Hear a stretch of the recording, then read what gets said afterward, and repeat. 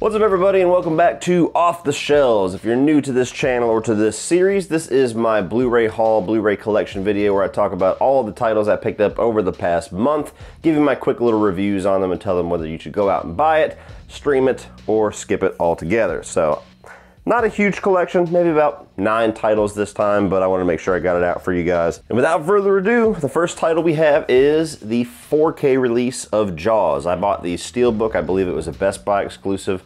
Um, what more can you say about Jaws? I mean, it's one of the greatest movies ever made, one of the best. Uh, Steven Spielberg, one of his best. Haven't seen it in quite a while. I watched it this past weekend. Loved it just as much as I always had. The 4K looked really good. Uh, I can't really compare it to the Blu-ray or not to see how much of an improvement it is, but it looked really good on 4K, and it was a must-buy. So go out and buy it. Don't really need my endorsement for this one, do you? Because I bought that one, I figured I needed to go ahead and buy Jaws 2. I haven't even taken it out of the packaging yet. But uh, Jaws 2 through 4, I have little to no experience with. I have seen Jaws, Jaws 2 as a kid. As a very little kid, I like this one more because you see the shark more, from what I remember. But quickly that changed, obviously. So uh, I haven't seen this one in years. I really don't give, have a recommendation for you. I do know that this is the only Jaws sequel that some people like. Uh, I think Jaws 3 and 4 are pretty much universally hated. So I don't think I'll be buying those, but I will be watching them because uh, 31 on 31, baby.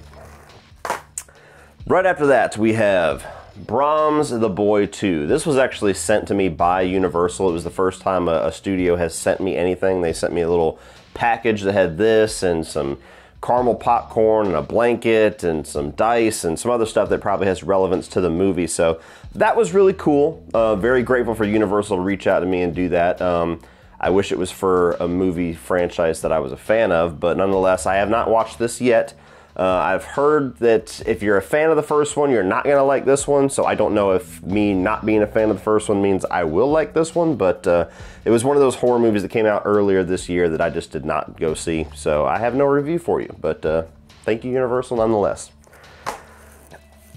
The 4K Steelbook of Braveheart goes right alongside with the 4K Steelbook for Gladiator. They always release these movies together, which is weird to me because it's not like the same director. I mean, you got Mel Gibson and Ridley Scott, um, and they're they have some similarities, I guess, but it, it, you always see these released. There's always a two pack, or they release the Blu ray together, now they release the 4K together. But nonetheless, two five out of five best of all time movies. I mean, these are movies that are must haves in your collection, they are must sees. Uh, I probably prefer Gladiator if I was to pick one, but um, I love these movies. So I haven't seen either of them in quite a few years. Look forward to rewatching them, and I'm sure they're going to look awesome on 4K. And they have a sexy ass steelbook here, so irresistible. The Arrow release for 16 Candles. Um, this is another movie that I have not seen in quite a few years, but I love pretty much all the John Hughes movies that I've seen. There's very few of his that I have not seen. Uh, 16 Candles is definitely up there. A lot of memorable stuff. I mean, it's just one of his classics. This might be his most popular. It's one that certainly gets referenced the most in other movies. So I saw they had an Arrow release. I don't remember how good the Blu-ray just generic release was, so I figured I'd go ahead and pick this one up. So go out and buy this one as well. Woody I'm sorry, buddy. I still haven't seen it yet, but I went and bought uh, the Days of Thunder 4K. If you remember my last episode, I bought War of the Worlds, and I was talking about how this and Top Gun also were released. I've never been a gigantic fan of Top Gun, uh, and I've never seen this one. And my buddy Woody Bowen, the one that does a lot of my designs, was like, Days of Thunder is awesome. You got to check it out. So um, I have not had a chance to prove Woody correct yet, but I have purchased this to hopefully prove him correct or have a point of argument with him where I'm like, dude. But nonetheless, I don't have a rating for you on this one.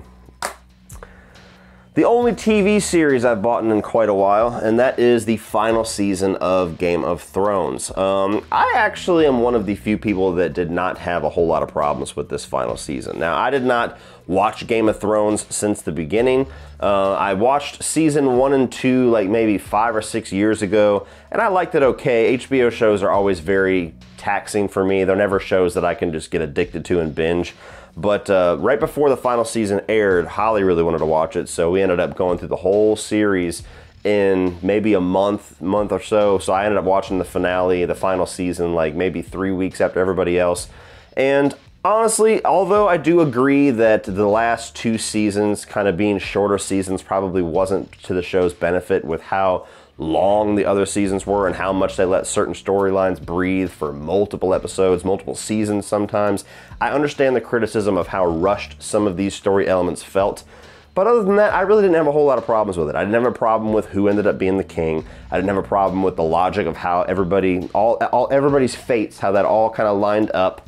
Um, certainly, some elements that felt a little bit soon in the last two episodes between uh, Daenerys Targaryen and Jon Snow. But nonetheless, I'm one of the few people that actually like this final season. It's not one of my favorite final seasons of all time, but I watched it, and after hearing so many people say, like, worst ever, trash, petitions to redo the series, like that shit ever works, I watched it and I went, okay, it worked fine. But nonetheless, uh, I would say go out and buy this if you're a Game of Thrones fan, although everybody watching this video right now is screaming, no, skip it, horrible, fuck this show. No, I thought it was pretty good. Last two titles, and they kind of go together, so I guess I'll show them both at the same time, and that is the 4K release of Dunkirk and Interstellar. Uh, when they had the big Christopher Nolan 4K uh, box set and all that other stuff come out last year, uh, I only bought the Prestige and the Batman movies, so these are the two movies that I have complicated feelings with as far as Christopher Nolan films. Other than that, I've loved pretty much all of his movies, um, but I've only seen them once. Uh, I, Interstellar, I really liked this movie until the last 10 or 15 minutes, and it got really weird and cosmic, and it just didn't work for me. I will see if that changes on a rewatch. Everything before that I thought was fantastic. Dunkirk, I'm not really a war movie guy. I've said that before, even though I buy a lot of the classic ones so that I can eventually watch them. I'm not somebody that has a lot of favorite movies of all time that are war films. So there's one thing.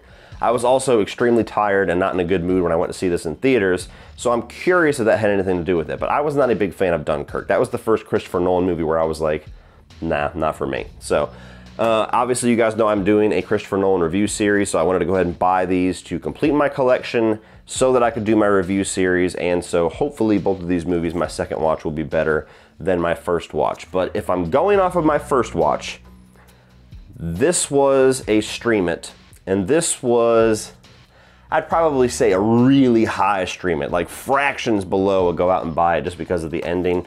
But I have a feeling I'm gonna like this one more, and I think this one is probably gonna stay about the same. But we'll see how that goes. In a couple of weeks, you'll have your answer. That is it, guys. That is this month's Off the Shelves episode. So tell me down below if you've seen any of these movies that I have not seen, and let me know what your thoughts are. If you want to argue Game of Thrones, why not? Go ahead and throw those down below as well. I'm sure I'm going to be dodging those hate comments as it is. So uh, thank you guys for watching this. Please like and share this video. Hit that subscribe button if you are not already a subscriber. This is an interesting video to find me on. I do a lot of movie reviews and video game reviews and things like that. This is just a little monthly thing that I do, a little bit more casual. So if you enjoyed this, you will definitely enjoy all the rest of my content. And remember guys, as always, opinions are like assholes, but that doesn't mean that you have to be.